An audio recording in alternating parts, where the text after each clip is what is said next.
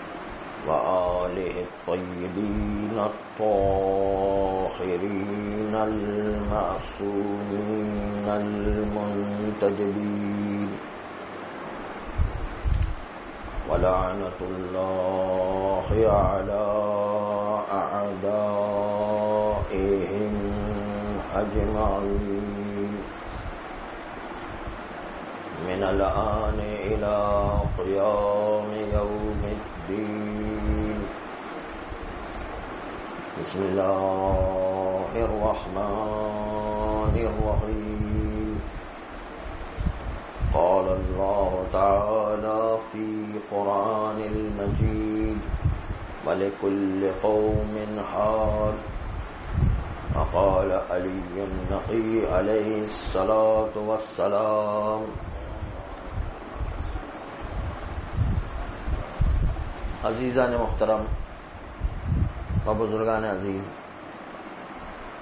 इरशाद बारी ताला हो रहा है कि हमने हर कौम के लिए कोई न कोई हादी और रहबर बनाकर ज़रूर भेजा है। हत्ता इस दुनिया में पहला इंसान जब आया तो उसको भी हिदायत और रहबरी से खाली नहीं रखा। हज़रत आदम को खुद को रहनुमा हादी बना करके भेजा गया।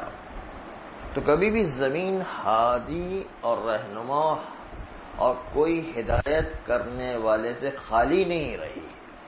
हमेशा कोई न कोई हिदायत करने वाला ज़रूर आया। आज चूँकि इमाम अली नकी सलाम की शहादत की शब है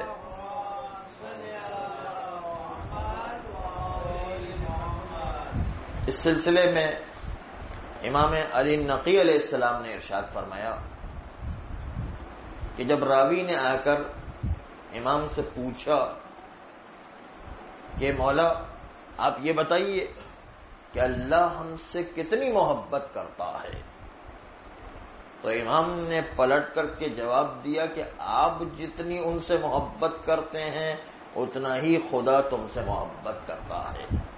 अगर अल्लाह से मोहब्बत करके अल्लाह के अहकाम पर अमल कर रहे हो तो अल्लाह भी तुमसे उसी नस्बत से जो मोहब्बत किया करता है। एक दुरुद भेजे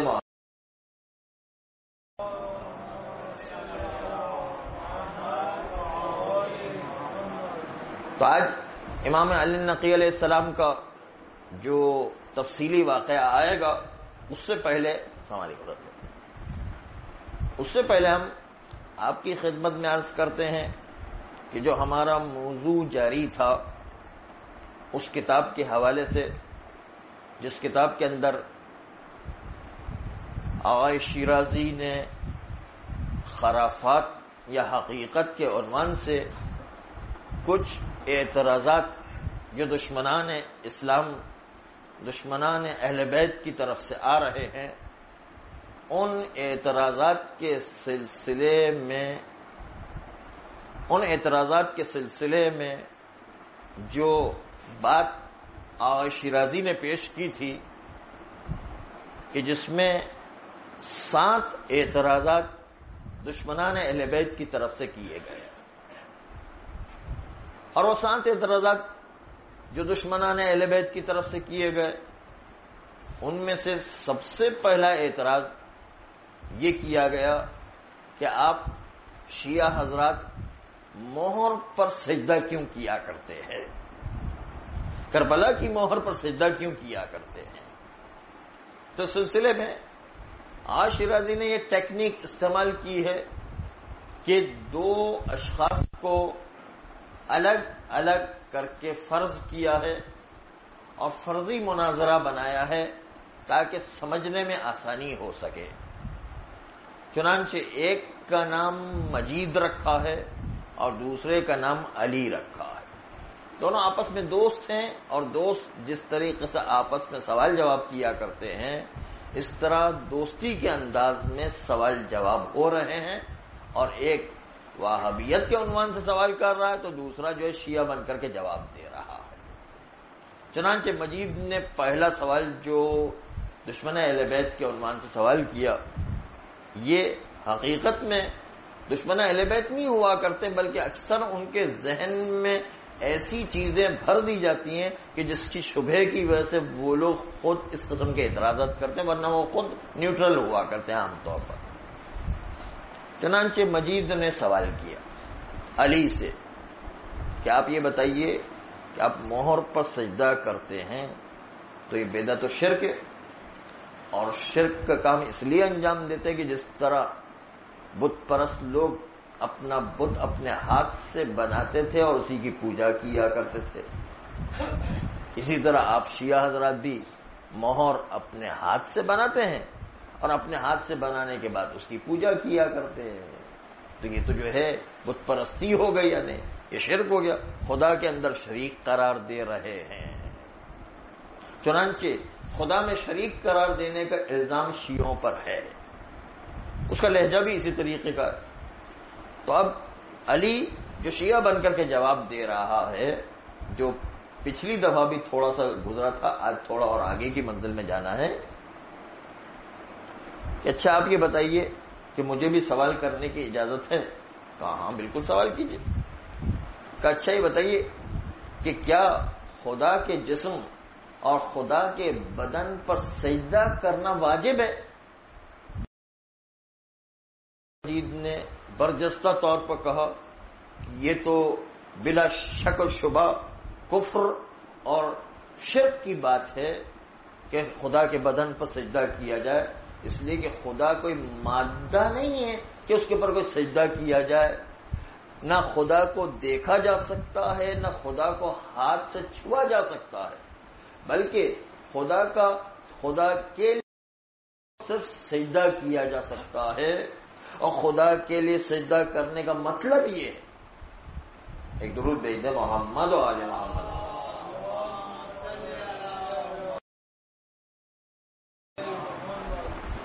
खुदा के लिए सिर्फ़ सजदा होना चाहिए, यानी इंसान की नीयत और हदफ सजदा करने से और खुशु इख्तियार करने से सिर्फ़ ये होना चाहिए कि अल्लाह के लिए सजदा और खुशु अंजाम दे रहा है।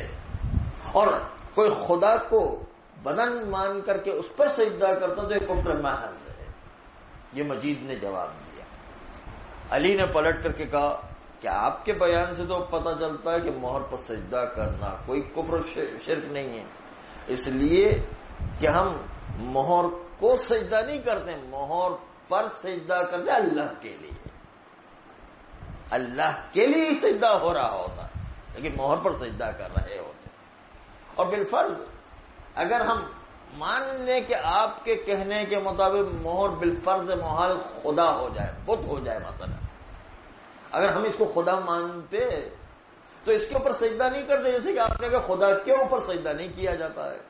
तो हम इसके ऊपर सजदा करते हैं इसको, इसको खुदा मान करके सजदा नहीं करते खुदा के खुदा के लिए इसके ऊपर सजदा किया करते हैं। तो आपके कहने के मुताबिक हाँ मजीद ने कहा हाँ इतना खूबसूरत और बेहतरीन जवाब आज तक मुझे किसी ने नहीं दिया। और वाकई आप लोग मोहर पर सजदा करते हैं, लेकिन मोहर को खुदा मानकर सजदा नहीं करते बल्कि मोहर पर सजदा करते हैं खुदा के लिए। ये बहुत सही जवाब है और बिल्कुल ठीक बात है, लेकिन मेरी एक बात समझ में नहीं आती, वो अगर आप मुझे समझा दें मजीद कहता है, वो बात यह है कि आप लोग इतना इसरार क्यों करते हैं कि करबला के मोहर पर सजदा किया जाए? आप लोग जो है बहुत जो है, ताकीद करते हैं कि करबला के मोहर पर सजदा किया जाए।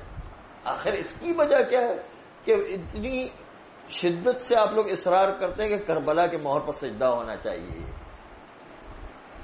वरना जो है, दूसरे और मोहर पर भी तो सजदा किया, दूसरी और जगहों पर भी तो सजदा किया, दूसरी और चीज़ों पर भी सजदा किया था। अब मोहर पर सजदा करने को इतनी ताकीद क्यों फरमाते हैं? एक दुरूद भेजे मोहम्मद और मोहम्मद।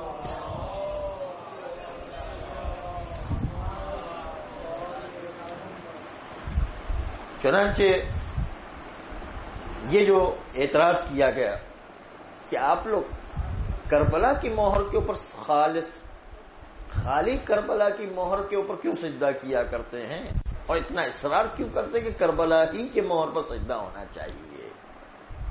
जबकि सजदा जो है, दूसरी चीज़ों पर भी हो सकता है।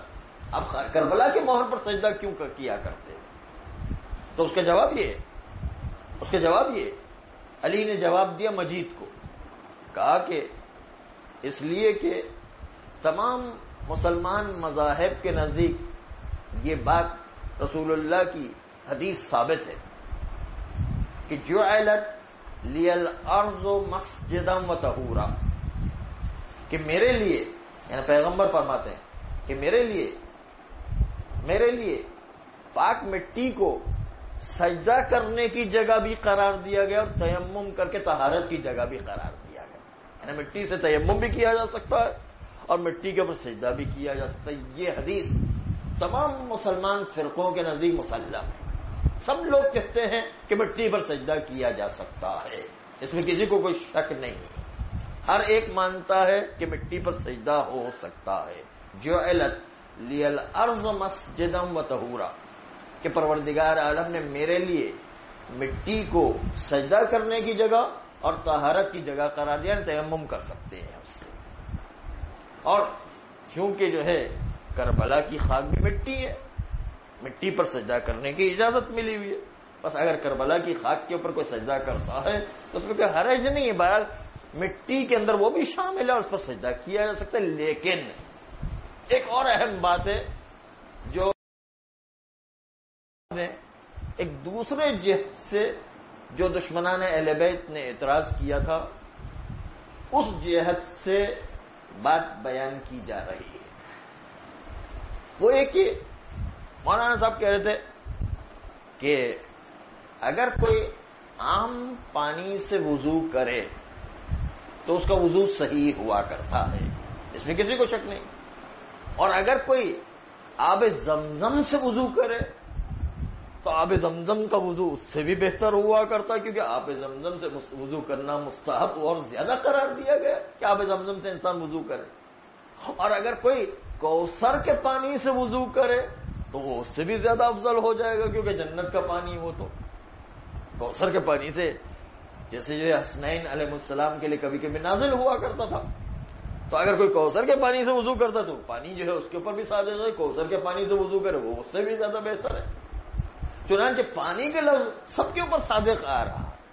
चाहे आम पानी से वज़ू करे, चाहे फीके पानी से वज़ू करे, चाहे मीठे पानी से वज़ू करे, चाहे आप जमजम से वज़ू करे, चाहे आप कौसर से वज़ू करे, किसी से भी वज़ू करे, पानी का लफ्ज उस पर सादिक आता है। इसलिए वज़ू सब, सबका सही हुआ करता पर जिस तरीके से वज़ू करते वक्त, आम पानी से वज़ू करने से वज़ू सही हुआ करता है, जन्नत के पानी से वज़ू करे और भी ज़्यादा बेहतर है आप जमजम से करे, वो भी मुस्ताहब हुआ करता है। तो जब अच्छी चीज़ से अगर कोई वज़ू कर सकता है तो उसमें कोई एतराज़ की गुंजाइश आपने आब जमजम से क्यों वज़ू किया? आपने आब कौसर के वज़ू पानी से वज़ू किया, बल्कि वो बेहतर करार दिया था मुस्ताब करार दिया था कि उससे वज़ू किया जाए। बिल्कुल उसी तरीके से मिट्टी के अंदर भी। है अगर आम मिट्टी पर अगर इंसान तयम करे तो भी ठीक है। आम मिट्टी जो है, उसके ऊपर सजदा करे तो भी ठीक है।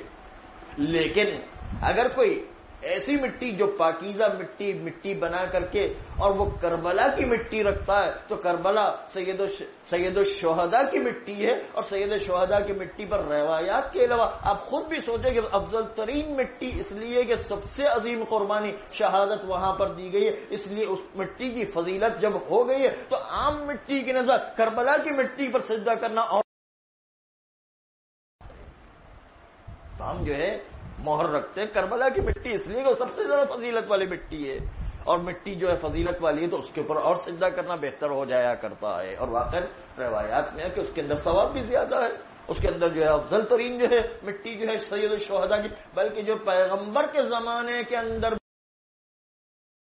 सैयद शोहदा हज़रत हमजा जब शहीद हुए थे जंग ओहद में तो पैगंबर ने कहा था कि जंग ओहद की मिट्टी जिसमें जो हज़रत हमजा शहीद हुए थे, उस वक्त क्योंकि सैयद शोहदा हज़रत हमजा थे तो उस वक्त भी पैगंबर ने उनकी मिट्टी पर सजदा करने को ज़्यादा फजीलत करार दिया था। लेकिन जब करबला में इमाम हुसैन सलाम की शहादत हुई तो वो सबसे ज़्यादा जो है फजीलत वाली मिट्टी हो गई। इसलिए सैयद शोहदा पहले हज़रत हमजा थे, बाद में इमाम हुसैन सलाम करा पाए। इसलिए अब सबसे ज़्यादा फजीलत वाली मिट्टी शहीद सैयद शोहदा सैयद शोहदा करबला की हो गई इसलिए इस मिट्टी पर सजदा करना न सिर्फ़ ना न सिर्फ़ ये कि जायज़ नहीं, बल्कि सबसे ज़्यादा फजीलत वाला सजदा उसी के ऊपर होगा जो करबला की मिट्टी पर किया जाएगा।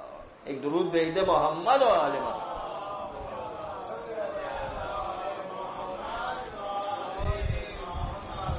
बस पता चला कि इंसान जो है, वो ना समझी की वजह से कभी कभी ऐसा दुश्मनान अहले बैत का गुरोह पैदा हो गया।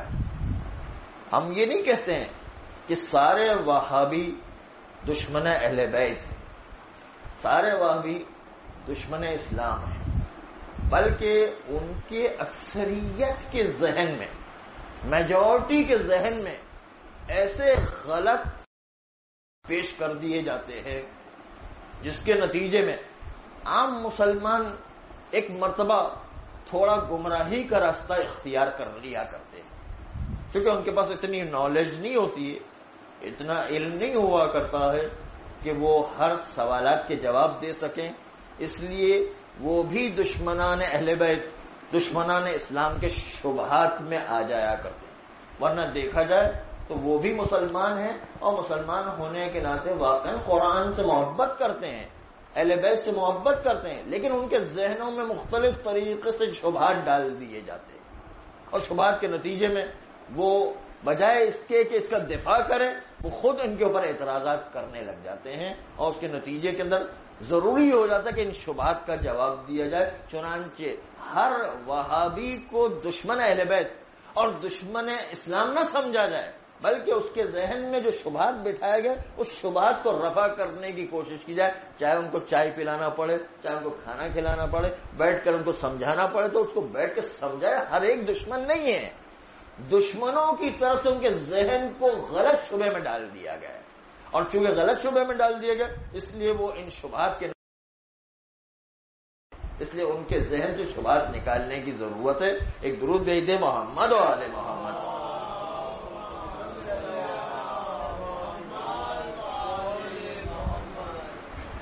अजीजान मोहतरम, चूँकि आज इमाम अली नकी सलाम की शहादत की शब भी है, एक दुरुद भेज दे मोहम्मद और मोहम्मद और थोड़ा थोड़ा अगर आगे भी तशरीफ़ लेकर आते जाए ताकि जो है दूसरों के लिए जगह होती जाए और दुरूद भेजते जाए ताकि जो है दुरूद का सवाब भी हासिल करते जाए।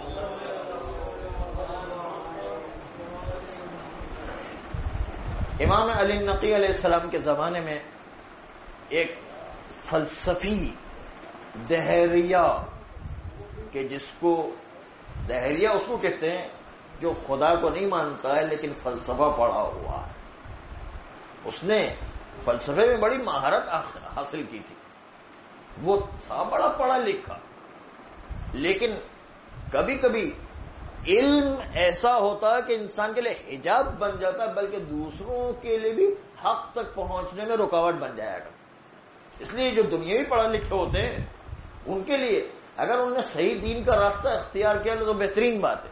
लेकिन अगर सही रास्ता अख्तियार नहीं किया यही उनका इल्म। बजाय इसके कि उनको अच्छाई और हक के रास्ते पर ले, यही इनका दुनियावी इल्म जो है, हक के रास्ते में रुकावट बन जाएगा और यही सबसे ज़्यादा दीन की मुकाबला करते दीन दीन के लिए जो है, वो शुभात का सबब बन जाया करते हैं। दीन का मुकाबला करने को तैयार हुआ करते इसलिए, ये खुद बहुत बड़ा फलसफी था। इसका नाम था इसहाक किंदी। ये इसने चूँकि पढ़ा बहुत था और फलसफे में भी बहुत माहिर था। चुनाचे उसने किताब लिखना शुरू की। इस किताब का नाम था तनाकुजातुल कुरान। इन्हें कुरान में आपस में एक दूसरे के साथ क्या टकराव हो रहा है और क्या तारुज हो रहा है, क्या तनाखुज पेश आ रहा है, जिसके नतीजे में जब कुरान की एक आयत दूसरी आयत से टकरा रही है तो इसका मतलब जो है कुरान गलत है। ये खुदा का कलाम हो ही नहीं सकता। जब खुदा का कलाम नहीं तो कुरान बातिल होगा कुरान जब बातिल होगा तो इस्लाम भी बातिल होगा और सारा इस्लाम ही खत्म होकर के रहेगा ये उसकी एक टेक्निक थी यार कि किसी तरह इस्लाम को खत्म करने के लिए ऐसा कुरान में आपस में तनाकुज दिखाया जाए, कहा जाए कि खुदा को तो तनाकुज बात नहीं कह सकता। ये तो नहीं हो सकता कि इंसान सफ़ेद भी हो, काला भी हो, एक ही आन के अंदर, एक ही जगह के ऊपर। ये तो नहीं हो सकता कि एक आदमी जो है हक पर भी हो, बातिल पर भी हो, दोनों एक साथ एक साथ जमा नहीं हो सकता। दोनों में से या हक पर है या बातिल पर है।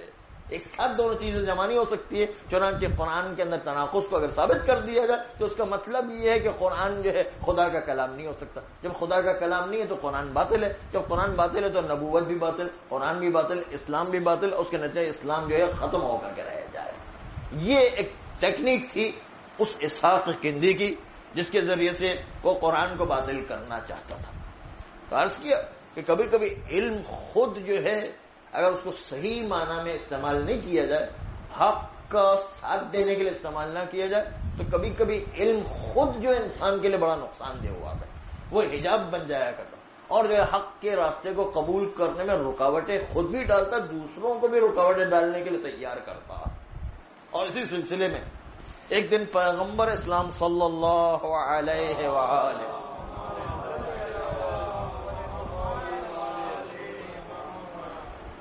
पैगंबर ने लोगों को अपने असाब को बुलाया।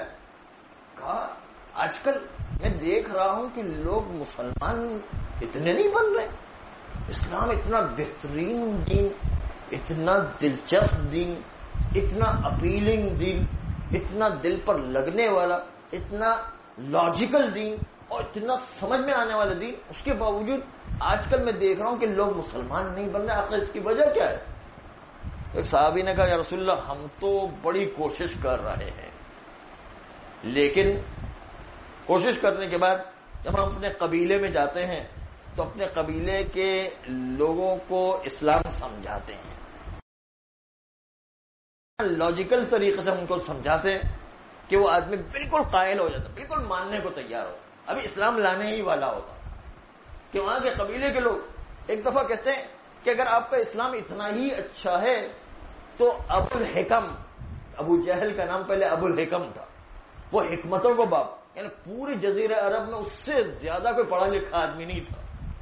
वो कहते हैं, अगर आपका इस्लाम इतना अच्छा है तो सबसे पहले तो अबुल हिकम को इस्लाम लेकर आना चाहिए वो क्यों इस्लाम नहीं ला रहा। बस इसका मतलब कोई इस्लाम में खराबी है, वो देख रहा, हमें नज़र नहीं आ रहा, इसलिए जो है वो इस्लाम नहीं ला रहे तो हम भी इस्लाम नहीं ला रहे। पहले उसको मुसलमान करो तो हम भी इस्लाम लेकर आएँगे।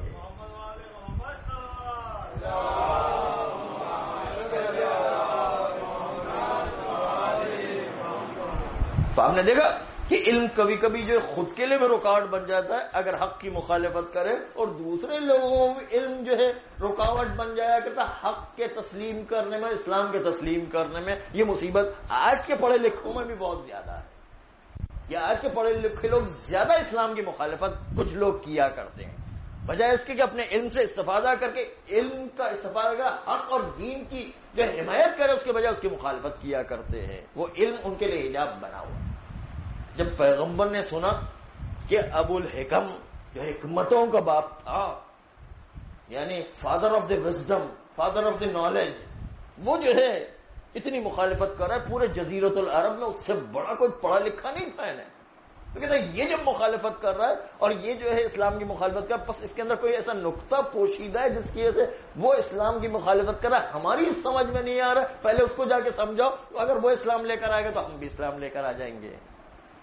इसलिए जो है, या रसुल्ला क्या करें? अपने कबीले के अफराद को समझा समझा के आखिर में जब लाते हैं तो आखिर में वो जो है, अबुल हिकम का नाम ले लेते उसके नतीजे के अंदर जो है, हम उनको मुसलमान नहीं कर पाते, आखिर में वो फिर जाया करता इस्लाम से जो है, मनारे को जाया करता। अब क्या करें? पैगंबर ने कहा अच्छा ऐसी बात है। अब अबुल हिकम जो है, ये लोगों को इस्लाम लाने से मना कर रहा है। तो बस, आज से उसको अबुल हिकम ना कहो, आज से वो अबू जहल है। यानी जाहिलों का बाप उसका पैगंबर ने नाम नाम रख दिया है। पैगंबर ने उसका नाम अबू जहल रख दिया। क्योंकि वो इल्म के बजाय लोगों के दरमियान जाल फैला रहा था। बजाय इसके हक को कबूल किया हक की मुखालफत का आमादा कर रहा था। अब जो अबू जहल उसका नाम पड़ गया। तो लोग अब उसको अहमियत नहीं देने लगे। उसकी जो है तो सारी वैल्यू माशरे में खत्म होकर के रह पहले तो इल्म का बाप कहलाता था अब जो जहल का बाप हो गया तो, तो। आपने देखा? कितनी सारी तब्दीली वाक़ हो गई। और उसके नतीजे में फिर दोबारा आहिस्ता आहिस्ता लोगों ने देखा कि उसका असर खत्म हो गया। अब आहिस्ता आहिस्ता लोग मुसलमान होने लगे। तो कभी कभी इल्म ऐसा हुआ करता है कि इल्म खुद अपने लिए भी रुकावट है तो दूसरों के लिए भी रुकावट बनता है, हक को तस्लीम करने में, दीन को तस्लीम करने में। ऐसा ही इसहाक किंदी था। इसहाक किंदी एक बहुत बड़ा फलसफी था। नवे दसवें इमाम इमाम अली नकी सलात वसलाम के जमाने के अंदर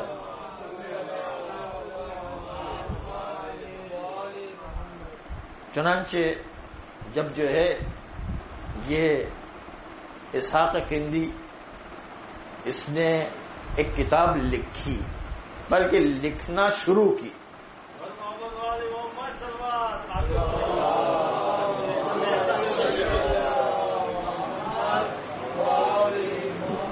ज़रूर भी पढ़ते जाएँ और जैसे आगे भी आते जाएँ ताकि जो है आने वालों के लिए आसानी हो जाए। बार डिस्टर्ब ना हो।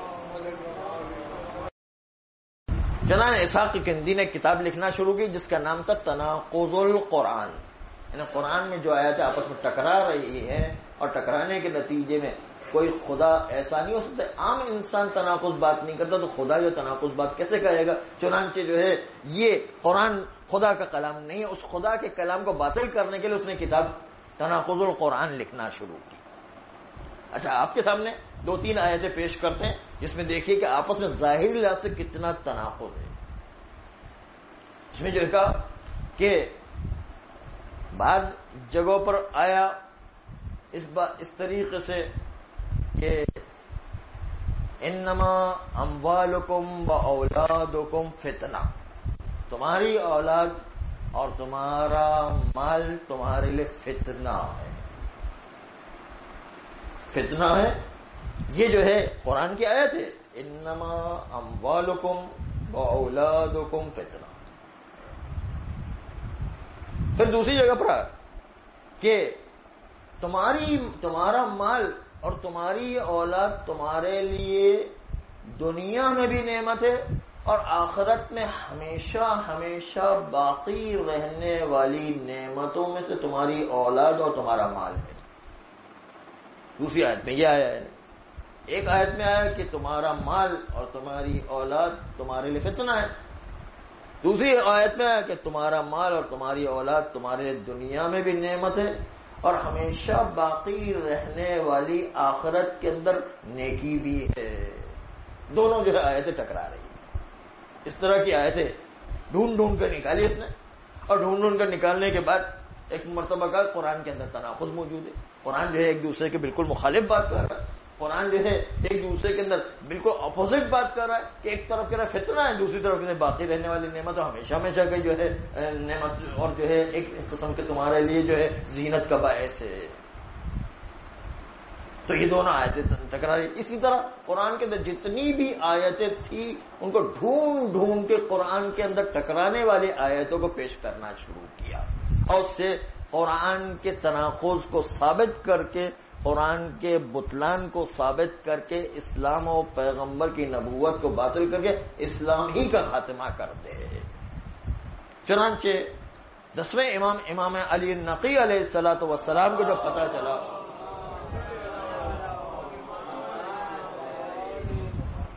उस वक्त जो है, दसवें इमाम ने एक रवायत के मुताबिक अपने एक शागिर्द को तैयार किया और कहा कि तुम इसहाक किंदी के पास चले जाओ और उनका शागिर्द इस तरीके से बन जाओ कि तुम्हारे ऊपर उसका एतमाद बरकरार हो जाए।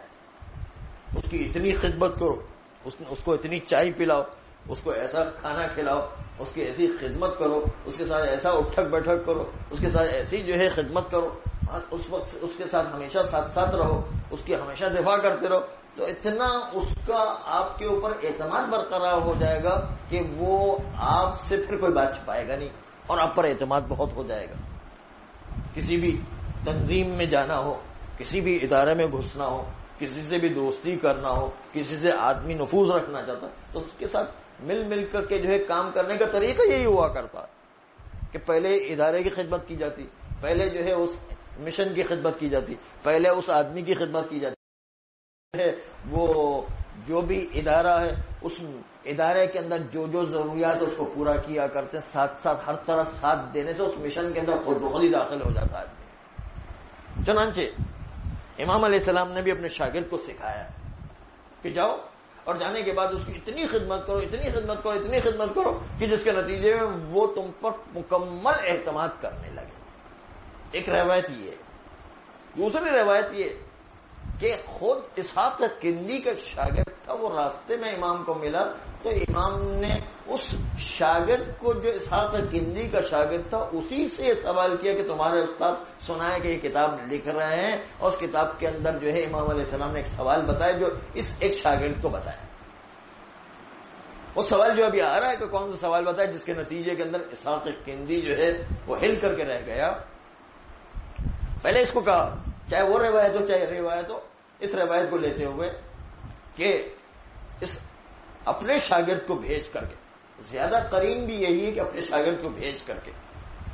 इसहाक किंदी के पास जब इतनी खिदमत की तो इसहाक किंदी इस पर इतना एतमाद करने लगा, इतना एतमाद करने लगा कि अब दिन रात गोया के इसी इमाम के शागिर्द के साथ इसहाक किंदी रहा करता था, सबसे करीब तरीन इंसान बन गया।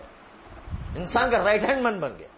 अब इसाक ने देखा, इतनी खिदमत कर रहा है खुलूस से खिदमत कर रहा है, इमाम के कहने पर वो तो नहीं पता था, लेकिन जो है इमाम के कहने पर इसने वाकई दिल से बहुत खिदमत की, जिसके नतीजे में इसाक किंदी का राइट हैंड मैन बन गया।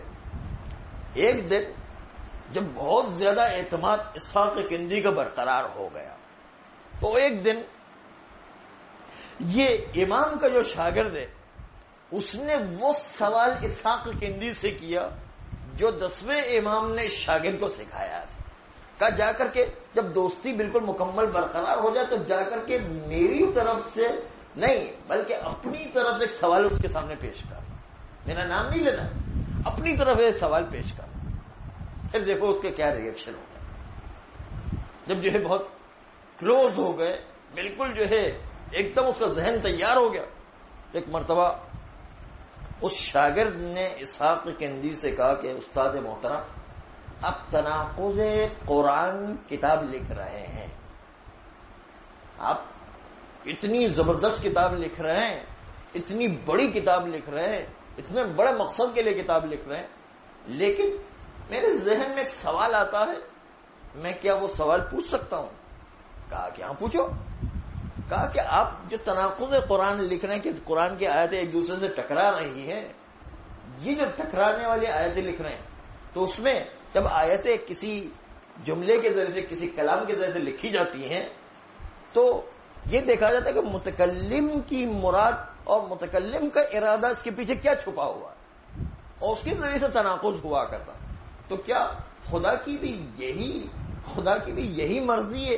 खुदा का भी यही इरादा है, जो आप ले रहे हैं और उसके ज़रिए से कुरान में टकराव हो रहा है, या खुदा का कुछ और इरादा है और कोई टकराव नहीं हो रहा। जब ये जुमला पेश किया तो हैरान हो गया। कहा, क्या कहा तुमने? जरा दोबारा बोलना। कहा कि बस ये मेरे जहन में सवाल है कि जो है, क्या आप जो कुरान में तनाफुस की बात कर रहे हैं तो क्या खुदा का भी यही इरादा है? खुदा की भी यही मर्ज़ी जो आप तर्जुमा ले रहे हैं, या खुदा की और कोई मर्ज़ी है, खुदा का इरादा कुछ और है, और उसके नतीजे तनाकुस पेश नहीं है, बल्कि कोई तनाकुस की कोई बात ही नहीं है। कहा कि ये सवाल तुम्हारे पास कैसे आ गया? कहा कि बस मेरे जहन में सवाल आया। मैंने आपसे सवाल कर लिया। असल में तो इमाम से सवाल लेकर आया था। उसका अपना तो सवाल था ही नहीं। कहा कि ये सवाल जो मेरे जहन में आ गया। कहा कि नहीं, तुम्हारी जहनियत और तुम्हारी अकल इतनी नहीं कि इतना बड़ा सवाल करो। बताओ कि तुम्हें किसने सिखाया है? कहा कि हाँ मुझे अपने उस्ताद इमाम अली नकी सलाम ने सिखाया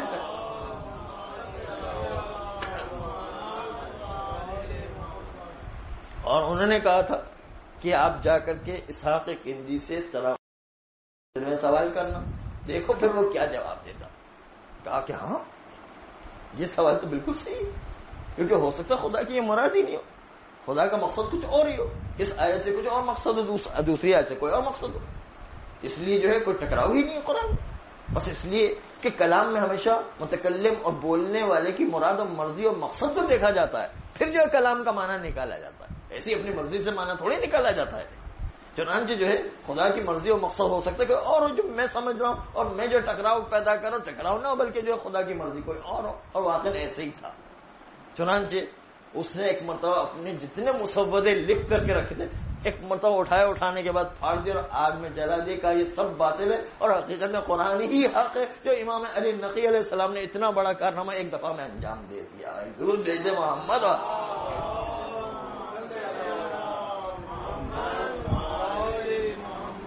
इसलिए कि आपको पता है कि कुरान की आयत जाहिरी तो कई कुछ कुछ जगह पर ऐसी लगती कि तनाकुज है। जैसे यही आयत आपने पेश की। इनमा अम्वालकुम औलाद माल तुम्हारी और तुम्हारी औलाद तुम्हारे दुनिया की भी नेमत और आखिरत में हमेशा हमेशा बाकी रहने वाले जीनत और तुम्हारे लिए हमेशा हमेशा के लिए खैर है। ये जो है, दोनों आयत आपस में जाहिला से टकरा रही है। लेकिन खुदा की मर्ज़ी इसमें कुछ दोनों में अलग अलग है। वो जिसमें कहा कि खुदा तुम्हारा माल और तुम्हारी औलाद तुम्हारे लिए दुनिया में भी नेमत है और हमेशा हमेशा बाकी रहने वाली जीनत भी रोज क्यामत है। वो वो औलाद और वो माल है जो राह खुदा में तरबियत पा के इस्तेमाल हो जाए।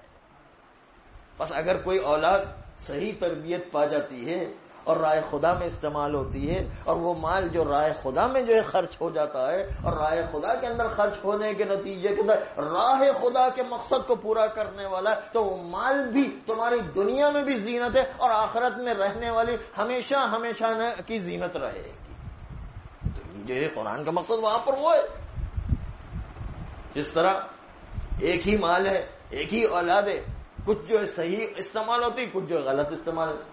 कारून का माल था जो इतना ज़्यादा कि कारून ने अपने लिए दुनिया ही में जन्नत बनाई। लेकिन उस माल को गलत खर्च किया और उसके नतीजे में वो खुद अपनी जन्नत को देख ही नहीं सका और उसमें कदम रखते ही उसकी मौत आ गई। और पूरा, पूरी ज़िंदगी का माल जो गलत रास्ते से कमाया था और गलत रास्ते पर खर्च हुआ, वो सब का सब जो उसके लिए वासिल जहन्नम बनने का सबब बन गया। जबकि हज़रत खदीजा की दौलत थी ये राह इस्लाम में खर्च हुई और पैगंबर इस्लाम के मिशन को ज़िंदा करने में हज़रत खदीजा का माल का बड़ा किरदार है। चुनाचे, ये जो है माल सही रास्ते पर इस्तेमाल हुआ तो दुनिया में भी जीनत है आखिरत में रहने वाले वाली हमेशा हमेशा की नेमत भी है। इसी तरीके से जब जो है ये आए कुरानी, माल और दौलत को दुनिया की जीनत और आखिरत के लिए हमेशा हमेशा बाकी रहने वाला खैर करार दिया गया तो उसके मुकाबले में उसके मुकाबले में देखें दूसरी आयत, इन्नमा अम्वालुकुम व औलादुकुम फितना कि तुम्हारा माल और तुम्हारी औलाद तुम्हारे लिए फितना है। फितने के दो माना किए गए, दोनों माना के लाभ से। बिल्कुल उस पहली वाली आयत से टकराती नहीं फितने का एक माना यह है कि तुम्हारी औलाद उर्दू में कहते फितना है। उस उस फितने के माना में ले। उसका मतलब ये कि अगर तुमने अपनी औलाद की सही तरबियत नहीं की तुमने अपने माल को सही जगह पर इस्तेमाल नहीं किया तो तुम्हारे लिए खुद ये तुम्हारा माल और तुम्हारी औलाद तुम्हारे लिए बवाल जान और फितना बनकर के रह जाएगा। एक माना तो ये हो गया। और दूसरा माना जो है, कुरान का जो हकीकी माना है, अरबी को फितने का, फितना अरबी जबान के अंदर उर्दू वाला माना नहीं रखता है। फितना अरबी जबान के अंदर माना रखता है आजमाइश। यानी माल और तुम्हारा माल और तुम्हारी औलाद तुम्हारे लिए आजमाइश की जगह है। तुम देखो कि किस तरह उसको इस्तेमाल करते हो। अगर तुमने उसको सही रास्ते पर इस्तेमाल किया तो तुम्हारे लिए हमेशा हमेशा के लिए नेमत और जीनत बनेगा। अगर तुमने उसको गलत इस्तेमाल किया तो उसके नतीजे तुम्हारे लिए हमेशा के लिए वबाल जान बन जाएगा। तो अब देखिए कि ये आयत, उस आयत के मुकाबले में टकराती नहीं है। चुनाचे दोनों के अंदर अल्लाह की मुराद अलग अलग चीज़ें हैं। जब अलग अलग चीज़ें तो तनाखुज को कुरान कैसे पेश आएगा। यही सवाल इमाम के शागिर्द ने इसहाक किंदी से किया और उसके नतीजे के अंदर उसने अपने सारे मुसवदे जितने भी लिखे थे सबके सब फाड़ दिए और उसके अंदर इतना बड़ा उठने वाला फितना जो पूरे कुरान को बातिल करने वाला था, पूरे इस्लाम को बातिल करने वाला था, पूरी नबूवत को बातिल वो फितना जो हमेशा हमेशा के लिए खत्म हो गया। फकत इमाम सलाम के एक ही जुमले के नतीजे के अंदर, एक दुरुद मोहम्मद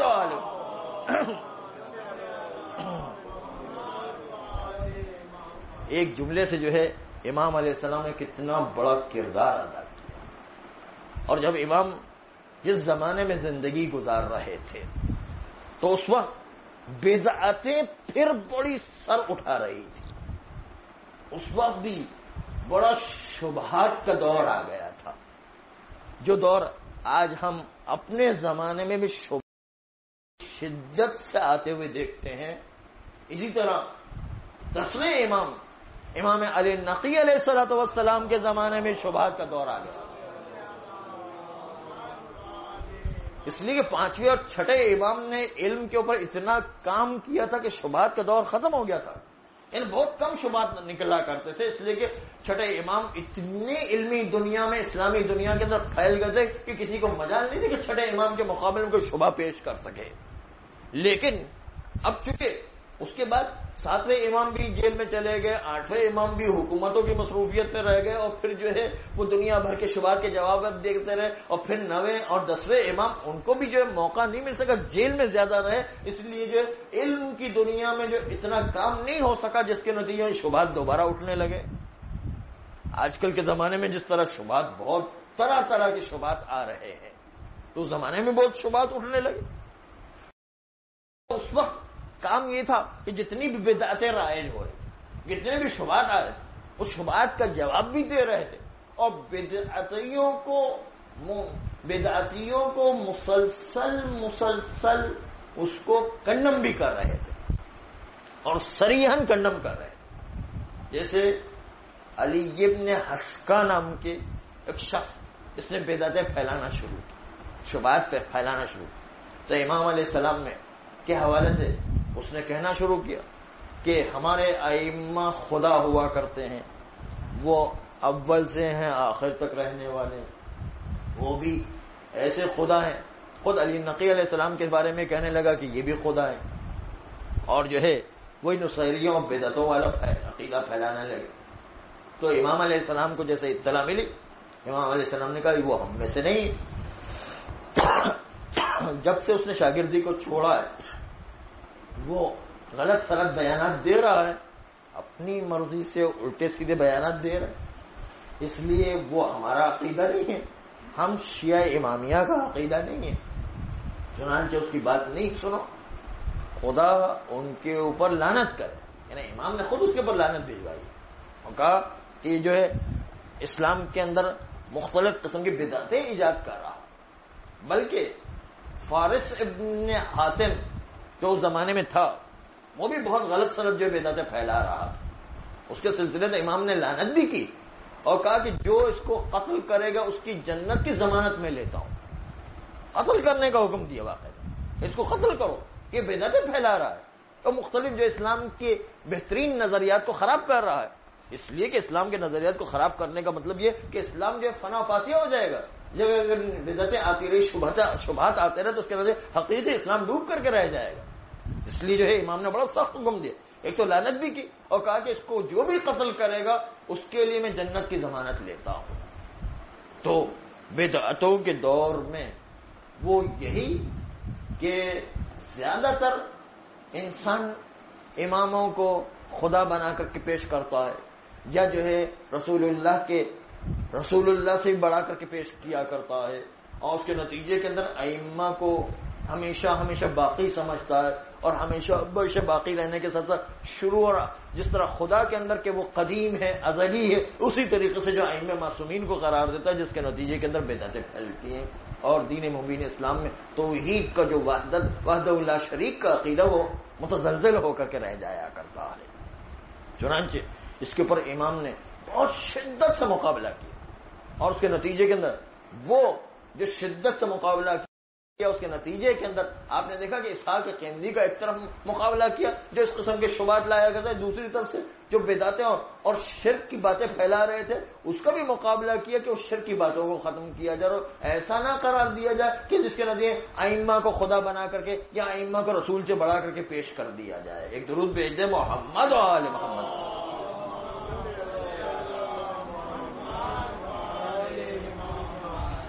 तो तीसरी तरफ़ हमारे दसवें इमाम इमाम अली नकी सलाम को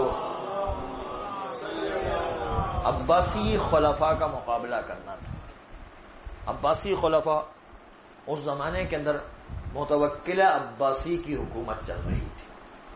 मुतवक्किल अब्बासी, उसके बाद मुस्तईन बिल्ला, मुस्तनसर बिल्ला और मुतज बिल्ला के चार खलफा आए।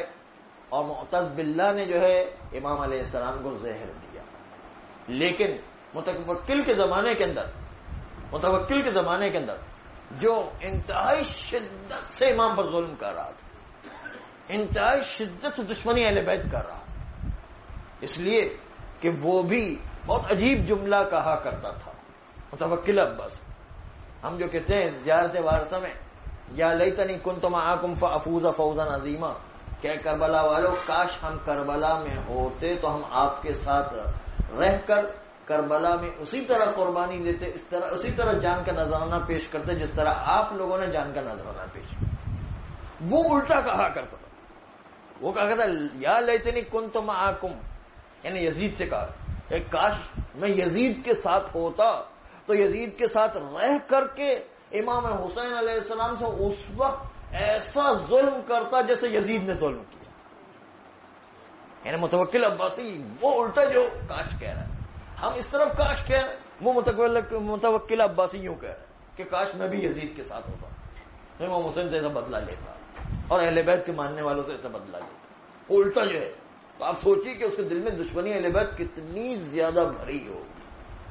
उसने जब देखा कि नकी का काम बहुत आगे जा रहा है तो उसने फिर पाबंदियाँ लगाना शुरू लोग जो है, मौला हुसैन की जियारत के लिए जाया करते थे।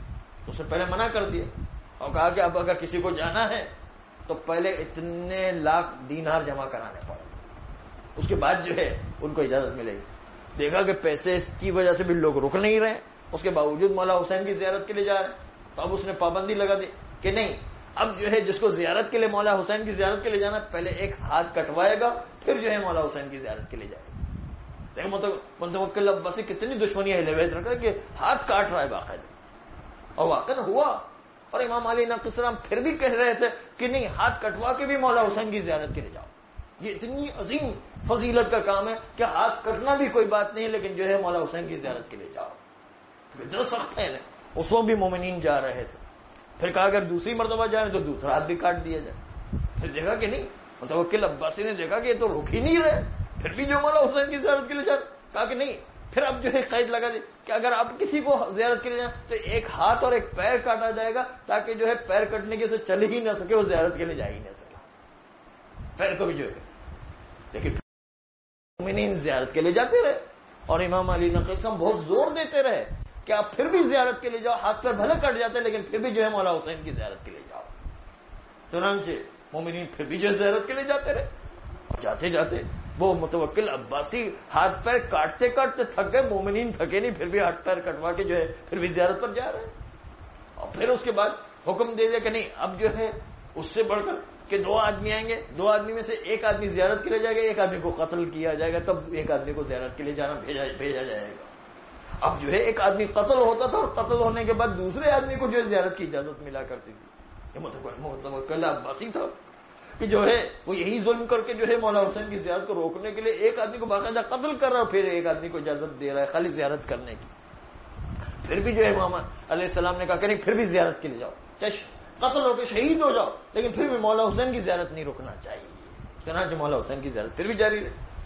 और फिर उसने देखा कि नहीं, फिर भी लोग जा रहे हैं तो उसने फिर जो है, एक अजीब कारनामा, अजीब जो है वो अपने लिहाज से कारनामा अंजाम दिया, जो यजीदी लोग अंजाम दिया कर उसने कहा कि ऐसा करते कि मौला हुसैन के रोज़े ही को ढा देते उसके बाद, उसके ऊपर बैल चला के हल हल चला देते और उसके नदी में वहाँ फ़सल उगाएगी, और उसके नदी में कोई मौला हुसैन को याद नहीं करेगा। मौला हुसैन जो है, उनकी कब्र बिल्कुल मिसमार होकर के रह जाएगी, उनकी कब्र जो बिल्कुल खत्म होकर के रह जाएगी। चुनाचे, अब बात यह हुई कि मौला हुसैन के रोज़े को उठा दिए, उस पर बैल जो है हल चलाने के लिए भेजे।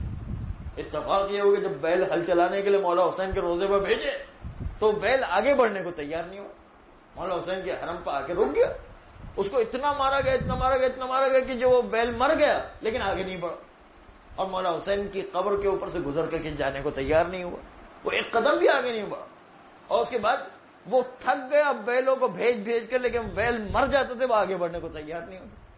और मौला हुसैन का रोजा इसको पामाल करने के बजाय और लोगों को पता चल गया कि ये तो रोजा को जगह के बेल चलने को तैयार नहीं हो रहे इसका मतलब कोई खास जगह लोगों को और ज़्यादा शोहरत हो गई।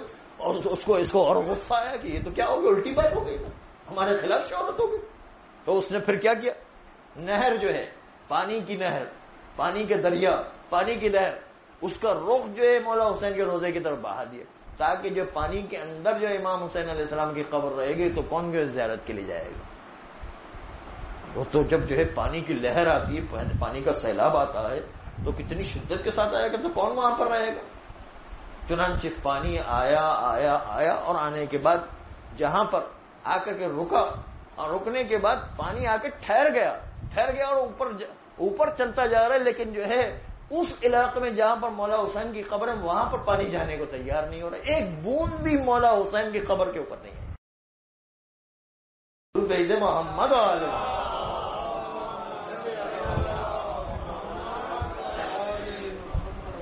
तो एक बूंद भी जब नहीं आई तो उसको कहते हैं हायर हुसैनी। हायर का मतलब हैरान होना। यानी पानी आके खुद हैरान हो गया। मौला हुसैन की कब्र पर आके पानी हैरान हो गया। जब जानदार तो जानदार, बेजान पानी भी जो है मौला हुसैन की कब्र पर आके रुक गया। तो जो है, उनको समझना चाहिए कि मौला हुसैन की अल्लाह की बारगाह में क्या कीमत है। उसके बावजूद वो हक को देखने के बावजूद हक को नहीं मान रहे थे। तो ये इतने हक के अंधे हुआ कर। इतनी दुश्मनी और तासुब में डूबा हुआ कर। जब दुश्मनी में डूबे होंगे तो आप सोचिए कि इमाम अली नकी सलाम पर क्या जुल्म उन्होंने ढके होंगे। चुनानचे एक दिन मौला अली नकी सलाम को मुतवक्किल अब्बासी बुलाता और बुलाने के बाद कहता है कि मेरे घोड़े की लगाम को इस तरीके से थाम के चलो कि जिस तरीके से गुलाम चला करता है। और इमाम सलाम को मजबूर किया गया कि वो किसी तरीके से मुतवक्किल अब्बासी की इस बात को माने, चुनाचे मौला अली नकी सलाम आगे आगे दौड़ रहे थे और मुतवक्ल अब्बासी घोड़े पर सवार होकर मौला अली नकी सलाम को आगे आगे घोड़े से के साथ दौड़ा दौड़ा रहा था चुनाचे मौला की जबान से एक ही जुमला बार बार निकल रहा था और जुमला अजीब जुमला था और कह रहे थे कुरान की आयत थी कि जिसमें कहा कि हाँ मेरा रुतबा साले की ऊटनी से ज़्यादा कोई कम तो नहीं है कि जिसकी वजह से मुझे इस तरीके से जुल्म का निशाना बनाया जा रहा है? और बार बार ये आयत कहते जा रहे थे कि हाँ साले की ऊटनी से मेरा रुतबा कम नहीं है। मैं जो है इमाम वक्त हूँ, उसके बावजूद मुझ पर ये जुल्म ढाया जा रहा। किसी ने जुमला सुना और कहा कि हाँ जिस तरह ऊटनी साले को जब पे किया गया उनके पैरों को काटा गया तीन दिन के बाद पूरी अजाब आ गया था। इसी तरीके से मौला मौला अली नकी सलाम की जबान से जुमला सुना। एक मरतबा किसी ने कहा कि अब मुतवक्किल अब्बासी तीन दिन से ज़्यादा ज़िंदा नहीं रह सकता।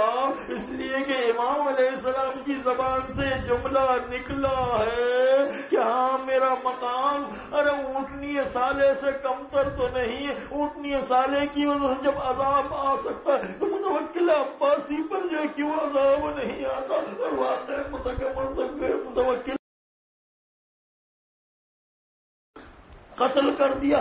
तीन दिन के अंदर अंदर मुतवक्किल अब्बासी इस दुनिया से वासिल जहन्नम हुआ। उसके बाद इमाम इस्लाम को मुस्तैन बिल्ला मुस्तम का जमाना देखना पड़ा और फिर उनके जुल्म को भी सहना पड़ा। चुनाचे मोहतर बिल्ला ने इमाम सलाम को जहर दिया और जहर के, जहर की तरक्की को बर्दाश्त करते हुए इमाम सलाम तड़पते जा रहे थे।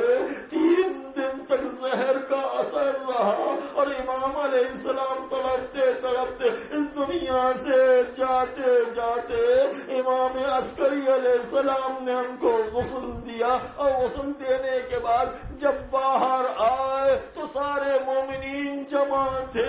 एक मरतबा इमाम सलाम के जनाजे पर खुद मोतल बिल्ला ने नमाज़ पढ़ाई। हालाँकि इमाम खुद इस पर नमाज़ पढ़ चुके थे, दोबारा नमाज़ पढ़ाई। और एक मरतबा सामर्रा के अंदर, जब इमाम का लाशा उठा, इमाम का जनाजा उठा, इमाम का ताबूत उठा तो पूरा शहर सामर्रा समझ करके आ गया। जैसे हर घर में कोई जनाजा हो गया हो, इमाम अली नकी सलाम का जनाजा लेकर के चले, लेकिन मैं हाथों को जोड़कर कहूँगा, ए इमाम अस्करी, आपने आपके बाबा का लाशा उठाया, लेकिन हाय करबला में एक लाशा पड़ा है, कि जिसको दफन करने के लिए कोई नहीं आ रहा, हाय बेटा है कि जिसके गले में खारदार तोख है और हाथों में हथकड़िया पैरों में बेड़िया अपने बाप को दफन करे तो कैसे करे एक एक मुट्ठी खाक उठा करके भी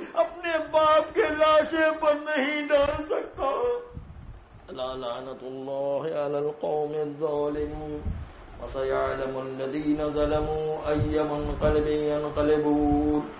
बार हमारी इस कलील इबादत को कबूल फरमा। हमारे गुनाह ने कबीरा और सगीरा को माफ़ फरमा। हमें गुनाहों से बचने की तोफीक अदा फरमा।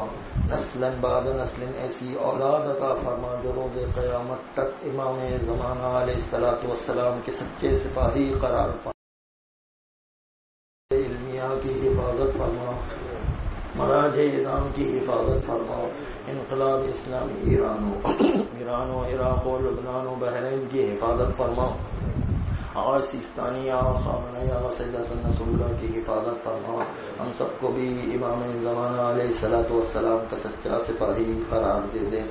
उनके आवानों अंसार में शामिल करके जाम शहादत नसीब फरमा इन अल्लाह अलन नबी।